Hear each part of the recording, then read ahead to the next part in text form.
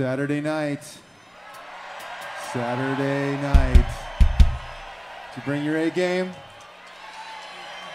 I'm going to bring our friend uh, Lester Boom Boom Babbitt out to have a few words.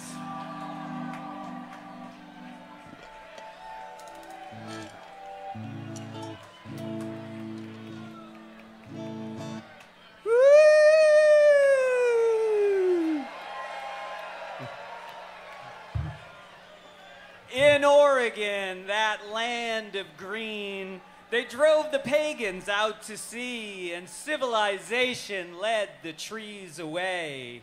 But green returns another day, just like today.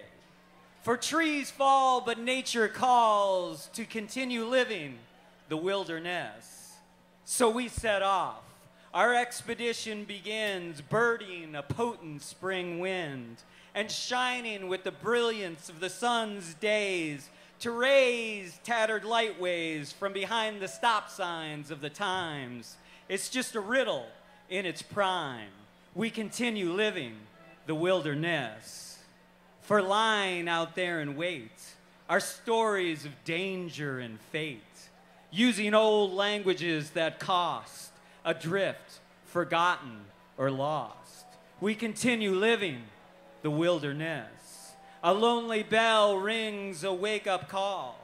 A spell for the telling of tales falls. It materializes in shafts of moonlight, sometimes hard to see, sometimes bright.